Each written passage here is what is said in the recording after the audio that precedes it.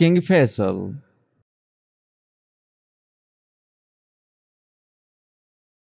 The late King Faisal of Saudi Arabia was born in 1907 and he was the second son of King Abdulaziz ibn Saud. He received his religious education from his maternal grandfather, Sheikh Abdullah bin Abdul Latif. After completing his education at an early age, Faisal started taking interest in uh, the affairs of the state and helped his father in governing the country.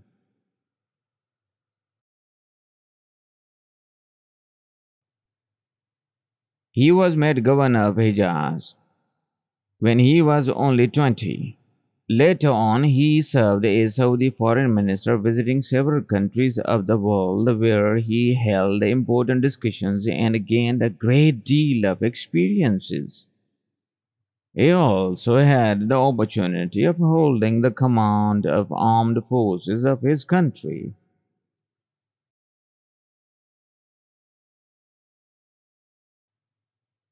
After the death of King Abdulaziz, his eldest son Saud became the king. Faisal was made the crown prince and the prime minister in 1958. Saudi Arabia was in serious difficulties at that time. Faisal used his wisdom and intelligence to overcome these difficulties. In 1960, he resigned from the post of the Prime Minister, but accepted it again in 1962. His elder brother, King Saud, fell seriously ill in 1964, and Faisal was chosen as the king by the Council of Ministers.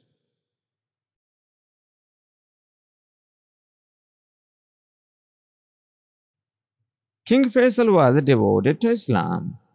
He was a good Muslim and led a simple life. He did his best to see his people live according to the teachings of Islam. He possessed great qualities of leadership and proved to be an able ruler. He loved his people and ruled the country wisely and justly. Under his rule, Saudi Arabia made great progress in many fields.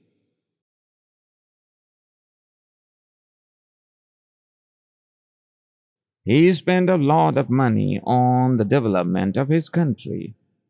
The main source of income for Saudi Arabia is mineral oil, and he made every effort to increase its production. New factories and mills were set up in Saudi Arabia, and industry made great progress. Vast area of the desert were irrigated and new lands were brought under cultivation.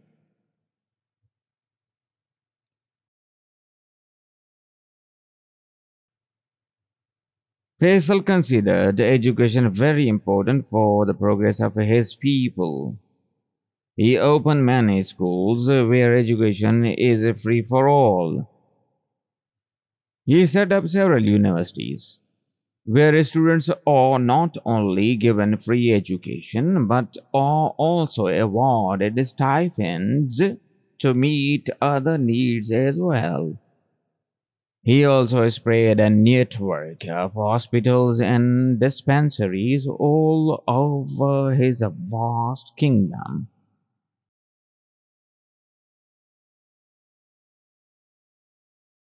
Now, a Bedouin living even a thousand kilometers from the capital will find a hospital or dispensary not far from where he lives.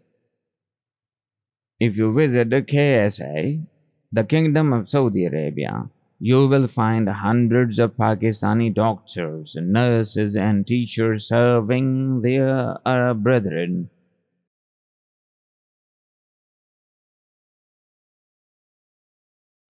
The king helped the needy and the poor and provided many facilities to the pilgrims. He had a strong wish to unite the Muslims of the world and did his best to bring the Muslims living in different countries closer together. His services in making the Muslims conscious of the need for brotherhood can never be forgotten.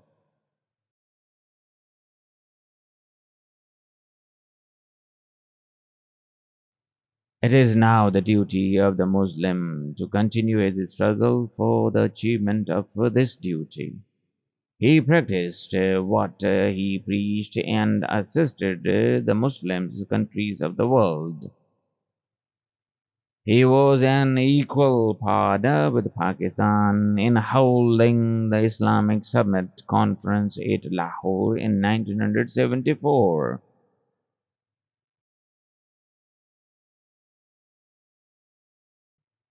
King Faisal was a sincere friend and well wisher of the people of Pakistan. He gave generous help to this country on several occasions. Perhaps no one outside Pakistan could be more unhappy than King Faisal was on the separation of East Pakistan, which is now Bangladesh.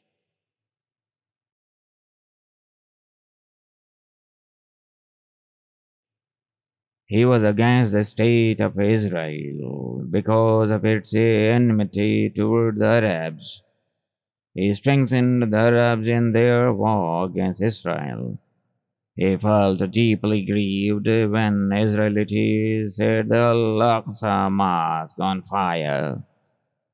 He made every possible effort to get back the Arab territories under the illegal occupation of Israel.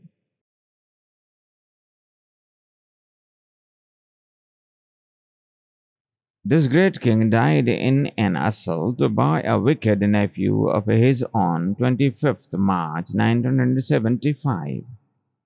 The Muslims all over the world mourned his death. The people of Pakistan, in particular, felt deep grief at this sad news. There was not a single house in Pakistan which did not mourn his death. As if an elder of the family had passed away. He lived like a soldier and died a martyr.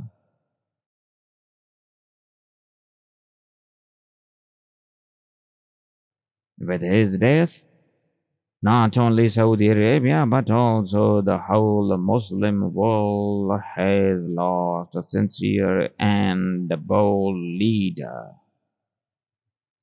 He was the religious leader of the Muslims and the guardian of two holy places of the Makkah al-Mukarramah and Medina. The Muslims of the world, who have great love and respect for him, will remember him as a noble and pious Muslim leader, and his name shall live forever in their hearts.